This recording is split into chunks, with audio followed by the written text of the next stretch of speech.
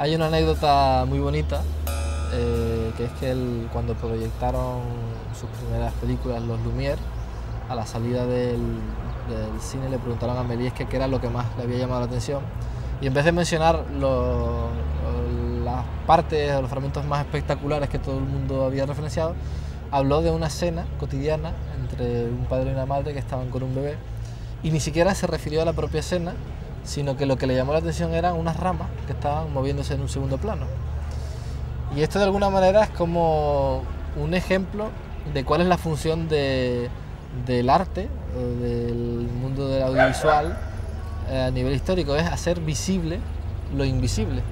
Es importante que hagamos una advertencia, ¿no? un disclaimer, y es que eh, la palabra televisión tiene muchas definiciones. ¿no? Ahora dicen que la, la- la juventud no, la- no ve la televisión, yo lo que digo es que la está viendo en otros lugares, ¿no? quizá no la ve en la pantalla, en el salón con el mando a distancia, sino que la está viendo en los ordenadores. ¿no? Pero, pero bueno, tener que hablar de televisión y arte o el uso que han hecho los artistas de la televisión, la televisión artística, en el fondo es, es hablar de, de modelos de televisión alternativos o experimentales.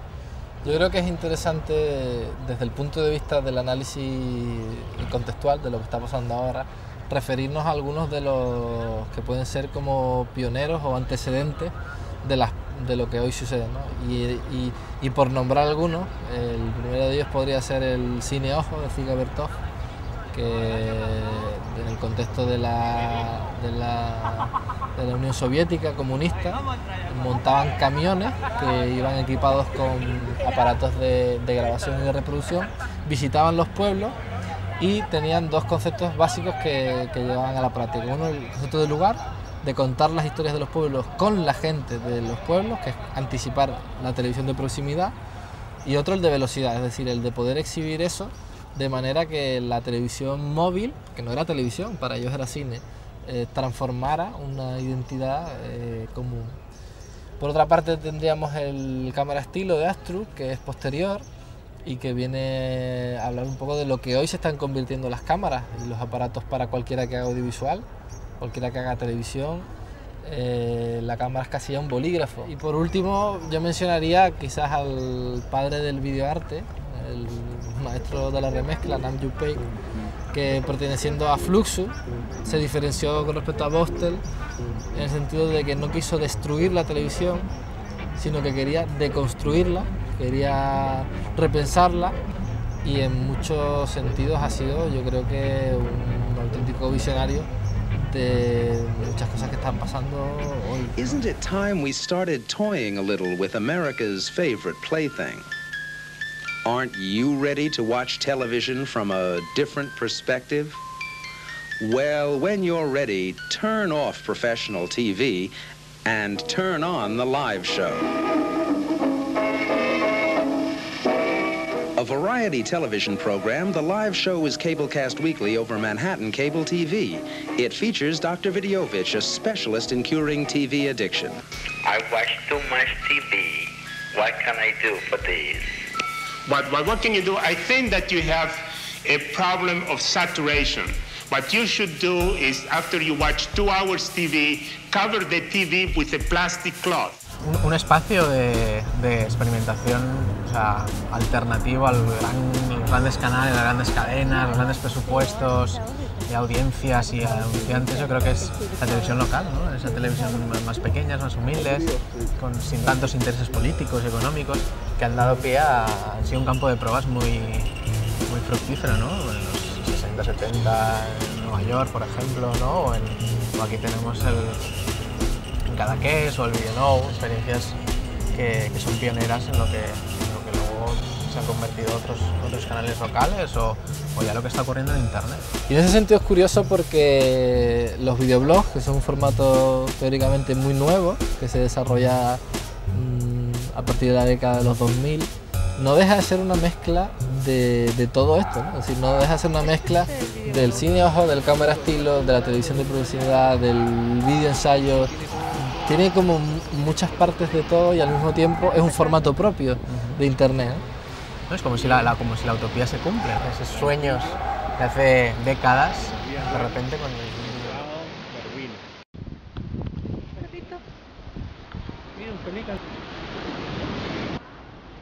¿Cómo habrá muerto, no? Pues yo creo que un buen ejemplo de televisión de proximidad actual sería Tenan Spin, está promovido por FAC, que interviene en un contexto determinado en Liverpool de un grupo de personas mayores que al vivir en las partes altas de los rascacielos están incomunicadas. Entonces ellos inician un proceso de formación hace ocho años, encaminado a darles los medios a ellos para que sean quienes, quienes, quienes cuenten su historia. Y lo más interesante es que después de ocho años eh, han creado un archivo internet, pero sobre todo eh, han generado muchísima conversación local. Y en España tenemos otros proyectos, ¿no? Mm, hay muchos, yo creo que probablemente muchos de ellos no los conozcamos, pero de los que conocemos y nos gustan, pues podríamos citar eh, Amatau, televisión, que Amatau significa en euskera apagar, apagar la televisión, que es un proyecto en el que la televisión es una excusa para crear comunidad el barrio de San Francisco, que es un barrio eh, eh, conflictivo, pero al mismo tiempo con mucha vida. Y otro proyecto podría ser el de Sin Antena, ¿no? en Lavapiés, en Madrid, que, que, sigue esta misma lógica en el que la televisión es una excusa para crear un, un evento que lo que importa verdaderamente es eh, juntarse, hablar, eh, generar dinámicas de grupo. Es interesante porque este tipo de, de, experiencias televisivas de proximidad, digamos que el, el, el, hecho de que sean audiovisuales parece como si no tuviera importancia, porque en realidad podría ser perfectamente una tertulia radiofónica o una obra de teatro, no están usando específicamente la televisión como, como soporte narrativo. Y sin embargo, es eh, el, hecho, el, hecho, de que haya un compromiso social o que haya una, un encuentro en comunidad no, no, significa que tenga que estar que no tenga que estar de la mano de, de un producto audiovisual interesante. Qu'est-ce que tu fous Bah alors, on t'attend. Il y a plein de téléspectateurs qui t'attendent. Voilà. Par exemple cette terrible problème horrible qui est des les gens qui regardent la télé. Les fanzines, euh, je considère que c'est quand même le, le moyen d'expression le moins cher euh, que je connais dans, dans, la planète. Quoi. Donc, euh, regardez ici. Bueno, me viene a la cabeza el caso de BTV, Barcelona Televisión, que es, que es paradigmático aquello, ¿no? O sea, aquella época de 1997 a 2003 dirigida por Manuel Huerga parió joyas audiovisuales increíbles, ¿no? una parrilla muy interesante, muy participativa y, que dio mucho de sí. No, incluso parte del equipo de BTV que lo, se constituyó en otros grupos, como puede ser el de Neoquino, han desarrollado TV Lata, que si acaso es otro ejemplo de coherencia en relación a esto que comentas, ¿no? De, bueno, se trata de una favela eh, en Brasil a la que dan un taller para niños para que ellos construyan su propia televisión. Pero los productos audiovisuales resultantes de esa televisión están cuidados por el grupo de artistas de manera que tenemos ambas partes, ¿no? eh, eh, tenemos el compromiso social, tenemos la proximidad, tenemos la comunidad y tenemos también eh, la estética, la narrativa, la síntesis, todo lo que teóricamente se le exige a, un discurso audiovisual cuidado, elaborado. Luego yo creo que es interesante pensar en, en, en qué otros canales pueden funcionar como funciona la televisión, pero no son televisión, es decir, esos lugares de encuentro como pueden ser los festivales, como puedan ser eh, las convocatorias, eh, todo aquel evento en el que la excusa es recibir eh, obras audiovisuales o incluso, se me ocurre el de Intervenciones Televisión de, de, Fundación Rodríguez, porque precisamente la televisión es el objeto a deconstruir de la convocatoria de vídeo. Está Gabinete de Crisis, ¿no? es un fan absoluto y el lema de Gabinete de Crisis es un programa de televisión que no verás en televisión y, y ellos se sirven de veladas, ¿no? las veladas de Gabinete de Crisis donde se reúnen se convocan a la gente pues, en un bar, en una sala de proyección, muy íntimo, muy, muy divertido. Además que hay artistas trabajando, yo creo, en específico este tipo de, de posicionamiento estético, incluso ético, eh, con respecto al hecho de no querer eh, conquistar la televisión, sino encontrar un espacio diferente, distinto, específico para, para las obras. Estimado público bien pensante, buenas noches tengan. Les presentamos Gabinete de Crisis 6. 6. 6.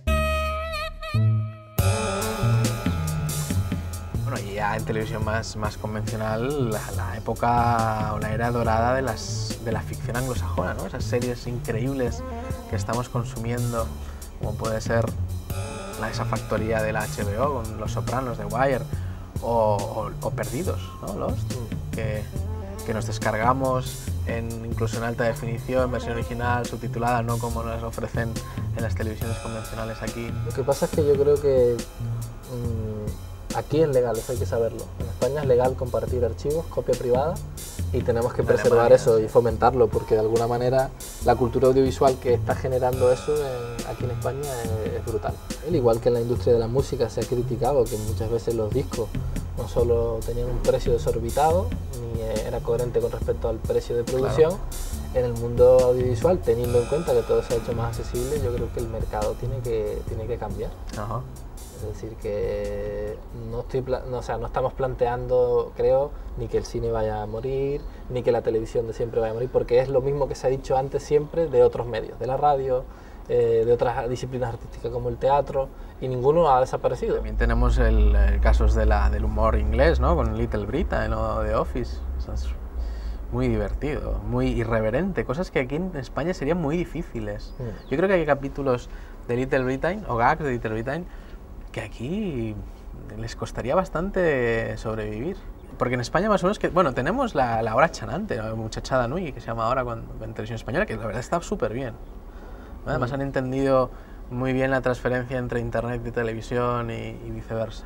Creo que en televisión española hay pasos interesantes, intentos, pero todavía en relación a Internet mm, echo en falta otros movimientos, ¿no? Porque de alguna manera el chip que, que otra gente se ha entendido y que el proyecto, por ejemplo, de Carren TV lo entiende perfectamente, es decir, tú alimentas los contenidos de la web con lo que los usuarios te dan. Y luego en el cable, en la televisión convencional, eliges cuáles de esos contenidos merecen la pena y los pagas. Entonces estás fomentando creación, eh, estás fomentando periodismo o comunicación ciudadana y luego estás premiando a los que de You change the channel, but you get the same story. We need to make room for individuals telling the stories they think are important in a way that makes sense to them. We need to make room for truly independent voices. That's what current journalism is all about. Pero bueno, imagínate, ahora podemos ver contenidos increíbles de, eh, en internet, de televisión por internet, ¿no? Web shows, tipo eh, The Monitor, ¿no? Que es un videoblog de, la Asociación de Científicos de Estados Unidos. Luego también podemos ver los TED Talks, que eso para mí es televisión. Pero no solo es televisión, sino que es, una herramienta de investigación. Porque en ese sentido hay que pensar, eh, la nueva televisión es, es tiene múltiples maneras de, de servir al ciudadano, no solamente como ha servido el objeto de televisión anterior, es decir, que tú puedes acceder a un sitio, navegar por una serie de palabras clave, buscando un contenido específico y te encuentres con una conferencia de calidad y con una buena definición, un sonido cuidado, etcétera, es un producto televisivo pero que sirve de una manera distinta porque antes tendríamos que quedar a una hora determinada para ver tal o cual conferencia y si te la perdías, bueno, cuando ya surgió el VHS y los Betacam antes, tenías la posibilidad de grabarlo, pero es que ahora no hay que grabar nada, está ahí y puedes acceder a ello cuando te haga falta. Sobre todo, yo creo que es interesante pensar en proyectos que, que se están preocupando por utilizar la narrativa de Internet. Y en ese sentido hemos mencionado también antes el, el Blogotech, que es un repositorio de, de, de directos musicales. Y lo, es que lo que realmente es interesante es, no se trata ni de la experiencia del directo en sí, es decir, no se trata de un concierto, que, que lo vives de una manera, no se trata de un videoclip que está producido por un determinado contexto, sino son vídeos producidos en específica para esta web, en los que los músicos van paseando y hacen un concierto casi situacionista, eh, dadaísta, en un recorrido determinado urbano o en un contexto extraño, como en una cabina, como en el interior de, de- autobús. de un autobús, ¿no? Y está en producción específica y sobre todo que se pueden consultar cuando tú quieras, de la manera que quieras, y Incluso en alta definición. incluso en alta definición y sobre todo entendiendo para qué sirve Internet. Hay un proyecto, el Reconstitution 2008, que ha sido muy interesante porque de alguna manera ha puesto en, en marcha eh, qué sucedería si aplicamos la web semántica la web 2.0, todo este trabajo de, máquinas, de bases de datos que conectan eh, unos datos con otros, en el ámbito audiovisual. Entonces es un ejemplo de lo que la televisión del futuro va a suceder. No es suficiente con la imagen de Obama o de McCain, sino que vamos a ver más allá, textos que complementan al texto principal, que es la imagen, y que nos dan lecturas. Por ejemplo, cuántas veces menciona la palabra cambio eh, Obama, cuántas veces menciona la palabra guerra o miedo eh, McCain. Y es muy interesante porque es algo que, que de alguna manera ya se ha analizado en otros contextos, pero sería verlo en directo. Our efforts at isolation have actually accelerated our efforts to get nuclear weapons. That will change when I'm president of the United States. Senator, what about talking? Well, uh, Senator Obama twice said in debates that he would sit down with Ahmadinejad, Chavez. Yo creo que una vez se han alcanzado ciertos objetivos de las primeras utopías, ¿no? el cámara estilo o el cineojo que hemos mencionado antes, lo que hay que preguntarse es cuáles son las nuevas utopías, eh, cuál es la nueva televisión que deseamos. La respuesta a lo que acabas de decir tiene mucho que ver con la brecha digital, es decir, cómo va a ser el proceso de superación de esa brecha digital, no solo generacional, es decir, hay una generación que le quedan todavía 20 años de estar allí en el poder y de vida profesional y, activa, que está teniendo serios problemas para adaptarse a estas nuevas, eh, nuevas economías o nuevas metodologías industriales y tal. Y yo creo que la industria de la música es un claro ejemplo, ¿no? es un, buen, buen, ejemplo. Y también la brecha digital de, del, entre el primer, segundo y tercer mundo, ¿no? el acceso a, a, herramientas de comunicación y tecnologías. O incluso eh, cómo va a producirse la nueva narrativa, las nuevas historias. Eh, ¿Se van a aprovechar verdaderamente los elementos que hoy se están constituyendo como herramientas audiovisuales, como puede ser el archivo, la geolocalización? Eh, ¿Verdaderamente vamos a vivir una televisión multitextual y, también, que integre la, comunidad y la conversación con la audiencia, ¿no? el, diálogo. O también en otra línea de, participación o de conversación, ¿verdaderamente esto va a producir un cambio en la sociedad? ¿Un cambio en la forma en que se estructura la política y la democracia? ¿Vamos a saltar eh, la noción de la participación eh, fraccionada durante cuatro años y se van a dar eh, casos de, las herramientas audiovisuales como parte de ese cotidiano devenir en el que los ciudadanos intervienen para denunciar, para criticar, para pedir, para intercambiarse, para conversar. ¿Eso se va a dar con, con, la nueva televisión? ¿No? Y también cómo, cómo se va a compaginar todo esto con, con la sobreabundancia de producción audiovisual que es el resultado del prosumer, ¿no? Es decir, que hay un productor consumidor, un un espectador que al mismo tiempo remezcla y construye y produce y, se comunica audiovisualmente, ¿no? Como, como, quien escribe una carta. Es que en ese sentido lo que, lo que pasa es que la, la audiencia no solo se ha fragmentado, sino que está en pleno proceso de reconfiguración, ¿no?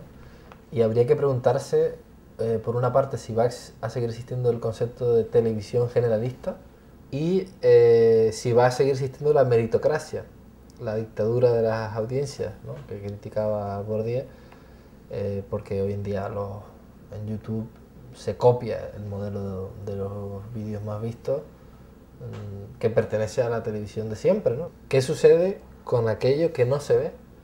Con los vídeos que no se ven. Eh, porque si estamos hablando de minorías, estamos hablando de cosas que no se popularizan.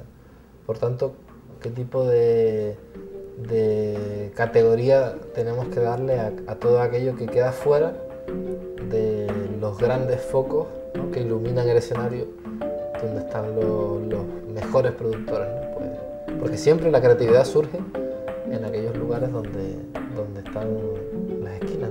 Verdaderamente la televisión mm, va a permitir que los contenidos que produce sean remezclados. Se va a copiar el modelo de las redes P2P de la cultura del mashup, del apropiacionismo, todo esto que las vanguardias artísticas sí han desarrollado, ¿qué papel va a tener la televisión pública dentro de, de esto? ¿no? Porque precisamente la televisión pública debe ser la que fomente eso, espacios que nos pertenecen a todos, hemerotecas audiovisuales, generar pro común, ¿no? Yo creo que le corresponde a ella más que a ningún otro. No, y también, quizá un aspecto también importante es los contenidos, ¿no? Es decir, cómo toda esta, todos estos cambios en los soportes, en las dinámicas, en la conversación, en las tecnologías, mm, afectan a los contenidos. Quizá esta multiplicación de voces ayude a que asumamos el, discurso complejo, ¿no? el pensamiento complejo, como que las cosas no son buenas o malas, sino que hay, hay que ahondar un poco en, los diferentes puntos de vista y que el hecho de que existan diferentes puntos de vista no significa que todo sea mentira, que todo sea una ficción. No, sobre todo acabar con el bipartidismo ideológico, lo que dice del bien y el mal o el conmigo contra mí se fomenta mucho desde los medios, eh, de los medios tradicionales y si precisamente está sucediendo algo ahora, es que nos estamos dando cuenta de que la verdad le, pertenece a los contextos. Y cada contexto tiene su sentido. Y al igual que hemos mencionado las televisiones de proximidad, y, podemos a lo mejor criticar eh, su narrativa, su estética visual, pero tiene sentido en un contexto determinado. Por tanto, ¿por qué no, dejar de pensar en modelos de grandes hegemonías, de grandes bienes y grandes males? Empezar a asumir que lo que nos viene es multimediático lo que nos viene es pensamiento diverso, convivencia de minoría, microintervención.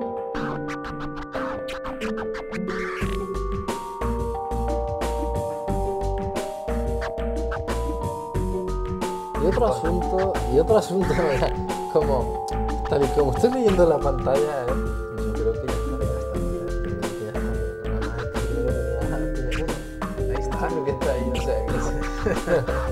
comiendo como los pavos estos le han dado